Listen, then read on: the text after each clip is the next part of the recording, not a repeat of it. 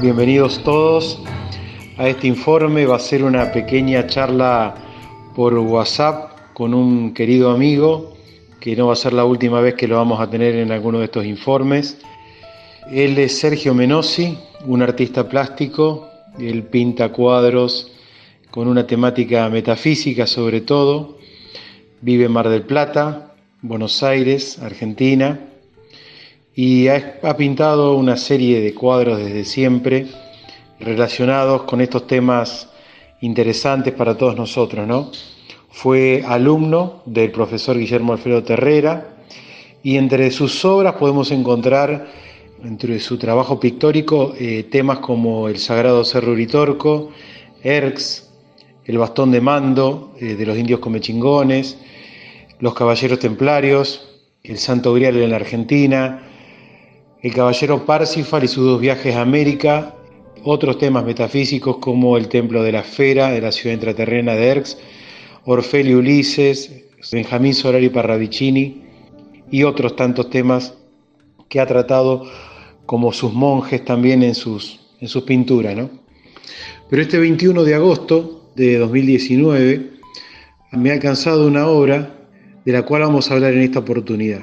Así que bueno, ya enlazamos con él Hola Sergio, ¿cómo te va? Un abrazo fuerte desde acá y espero que, ande todo bien por ahí. Hola Mario, buenas noches, ¿cómo estás? Bien, muy bien. Acá estoy en mi taller. Hay silencio, así que yo creo que vamos a poder hablar tranquilamente. Y bueno, cuando quieras empiezo a relatar esta última obra que es la que, la que levanté el día de ayer. Sí, Sergio, en principio decirte que me encantó, la verdad que es una obra preciosa, te felicité en privado y bueno, que lleva por título El mensajero ha llegado y tiene creo que el subtítulo, por lo menos así figura en tu página de Facebook, todo está a punto de comenzar. Comentame o comentanos, mejor dicho, algo sobre esto. Bueno, esta obra está construida en un soporte es un, bastidor de 40 por 40, eh, así lo llamamos técnicamente.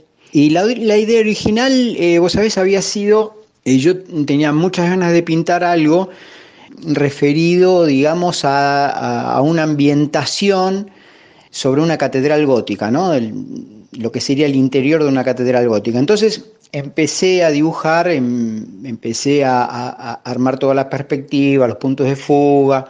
Y bueno, fui agregando distintos personajes en la parte inferior.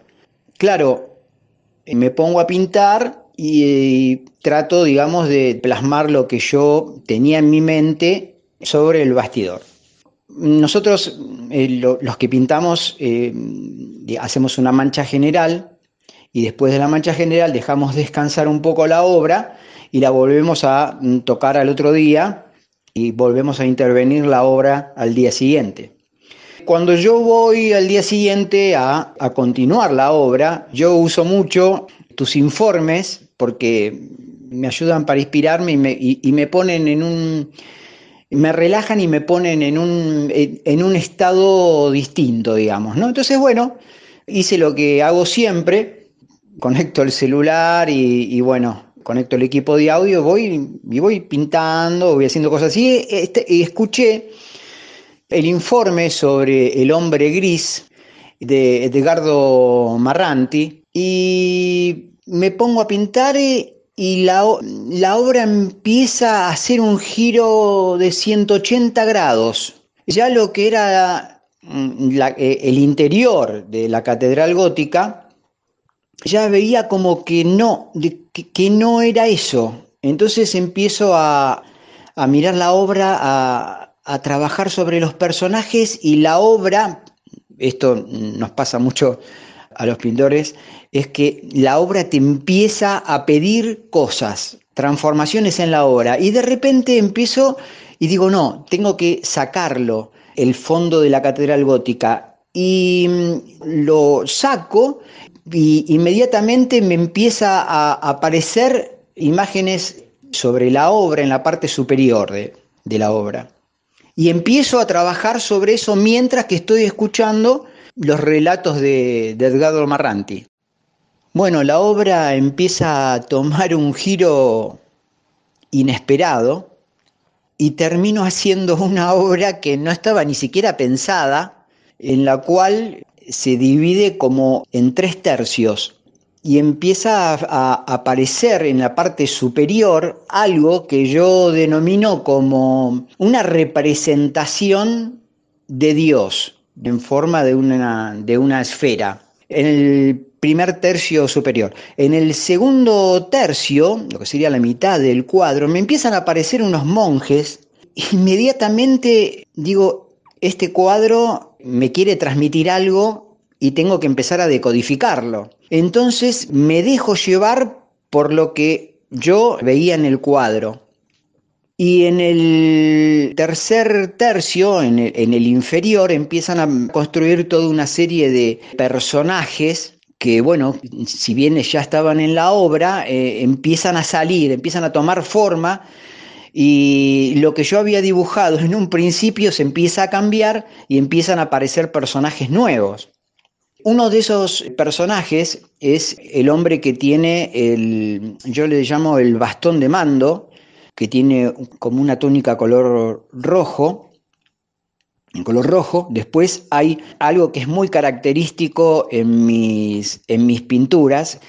Hay una manzana verde como en el centro de la figura y del costado derecho hay una persona que, esto después me viene, eh, la información, que es un representante de los monjes que están en el nivel medio. O sea, esos monjes que están en el nivel medio mandan un emisario al plano inferior para comunicarse con la persona que tiene el bastón. En la foto no sale muy bien, pero tiene los mismos colores que los monjes que están en la mitad del cuadro. O sea, en síntesis, Dios tiene los, los monjes intermediarios que están en el medio que llevan un mensaje o van a bajar un mensaje a través de una persona que baja a este plano, a este plano terrestre, para la comunicación con la persona que tiene el bastón. Sí, Sergio, lo estamos viendo, acá nuestros amigos lo están pudiendo observar en este momento. Yo te iba a preguntar por esa esfera que parecía, parecía un sol para quien la viera desde afuera, digamos, ¿no? Se ven seis monjes, como decís vos, en la parte superior que vienen a ser, como decías, los que eh, de alguna forma decodifican o, son intermediarios de esa energía creadora con, con los planos inferiores. Y se observa que los monjes que están de abajo, eh, ahí entre, entre el que tiene el bastón de mando, como decís vos, el, que tiene la túnica roja o colorada, pero el resto están como también en una posición como de, triunfo, de, con los brazos hacia el, hacia el cielo. Eh, ¿Eso tiene alguna connotación? ¿Te llegó algo respecto a, a esa posición como victoriosa, como pareciera ¿no? como, como de triunfo? Primero, esa esfera eh, es la representación, digamos, de, Dios así de una manera simbólica, ¿no?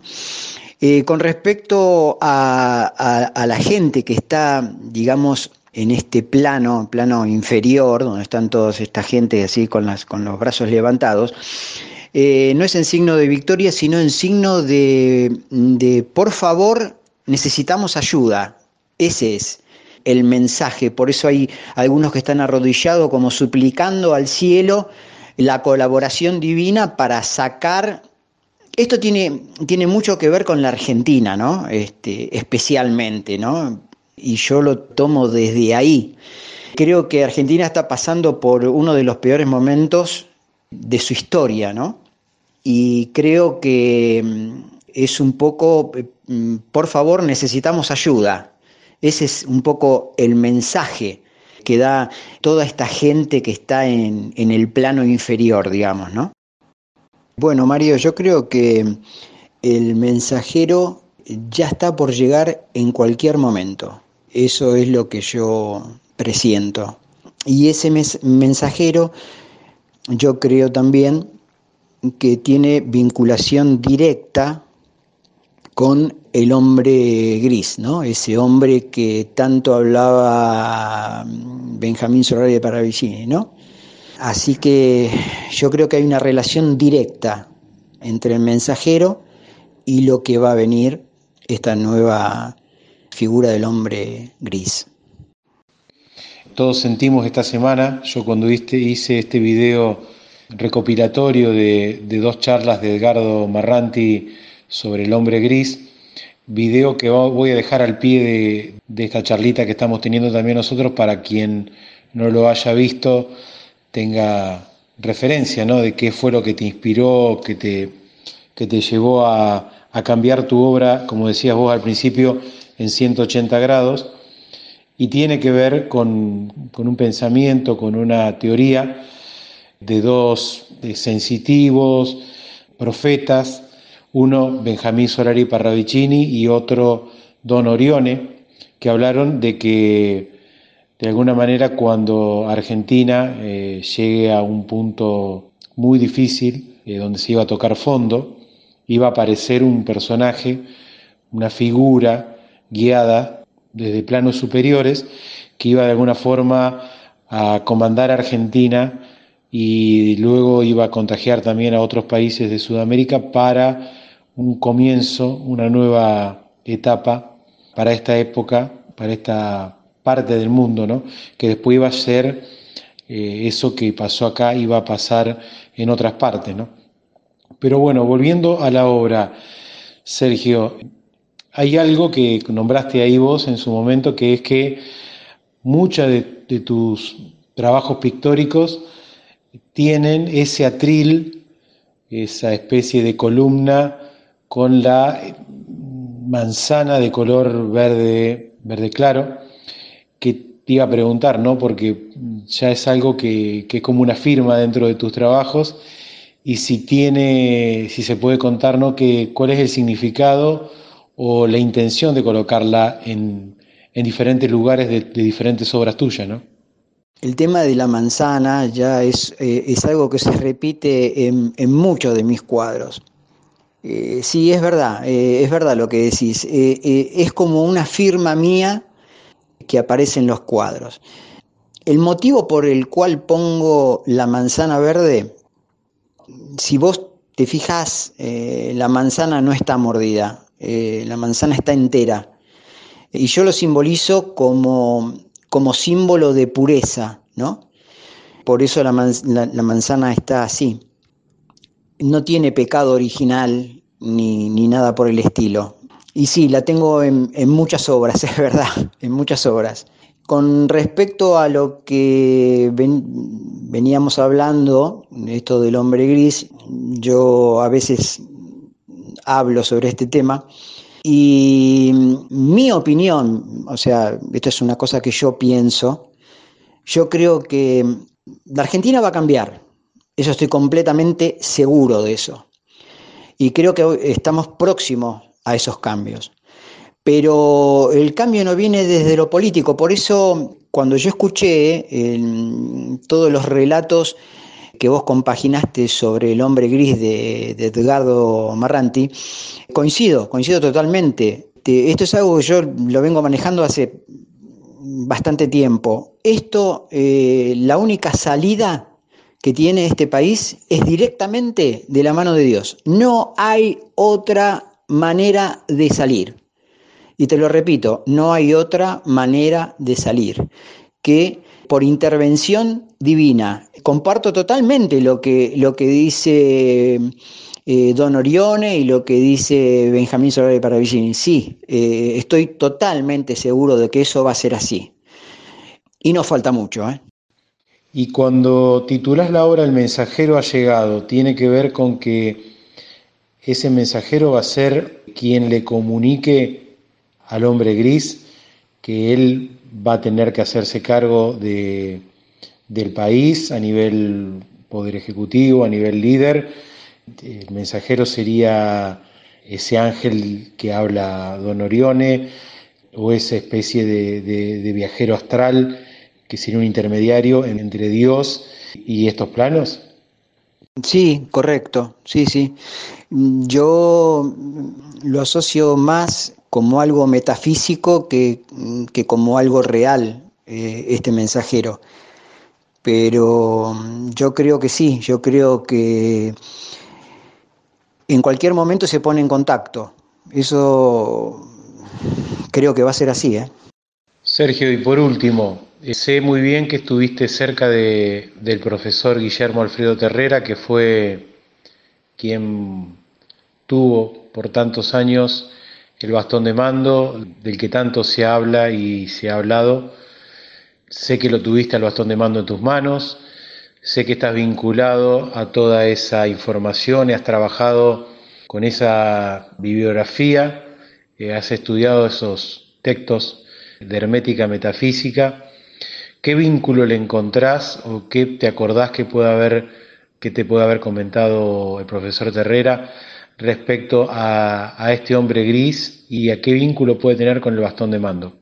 Bueno, Mario, eh, sí, eh, eh, hablamos, charlamos sobre ese tema, bueno, hace muchos años, y sí, Terrera también hablaba sobre, sobre el hombre gris, y en una oportunidad este, sé que Romaniuk lo había, lo había visitado para preguntarle a Terrera si Alfonsín eh, en ese momento era el hombre gris y Terrera le dijo que no, que no era ese.